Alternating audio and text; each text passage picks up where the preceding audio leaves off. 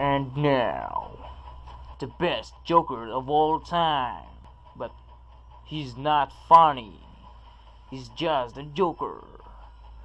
Please welcome Ryan Rems.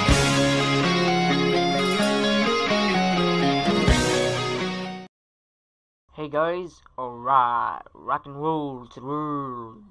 Whew. I have a question for you. What would you prefer to have? More friends or more money? It's hard to choose, right? But it's better to have a friend that have more money.